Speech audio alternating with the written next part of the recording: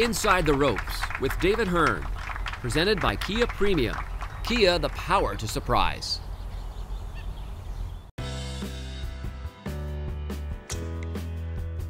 In 2001, David Hearn turned professional, and now 14 years later, he is finally established as one of the tour's most consistent players and one of Canada's top golfers.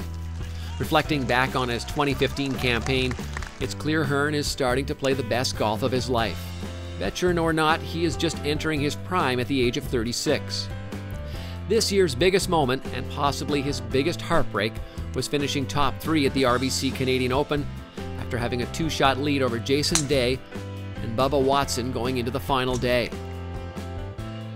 He almost ended that long drought of a home country winner at the Open, now 61 years and counting. Still, the crowds and support he received are something he says he'll remember for a long time.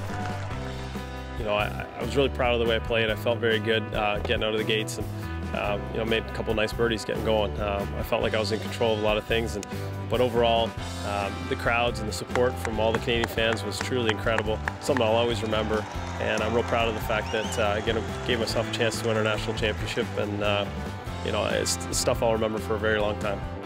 Putting himself into contention at the Canadian Open came as no surprise, as it happened less than a month after losing in a four man playoff to eventual winner Danny Lee at the Greenbrier. Hearn showed he can handle the pressure as he poured in a 16 footer on the first playoff hole to eliminate Kevin Kisner and Robert Streb before eventually falling to Lee.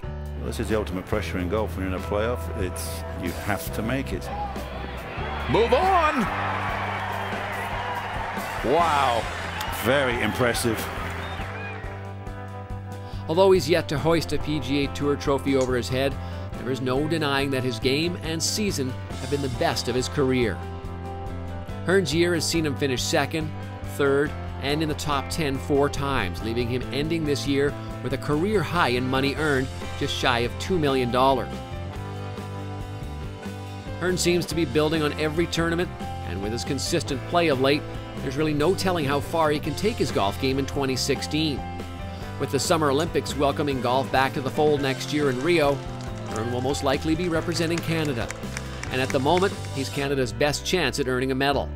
But hopefully this season brings much more than that, and Hearn can notch his first career PGA Tour victory as well.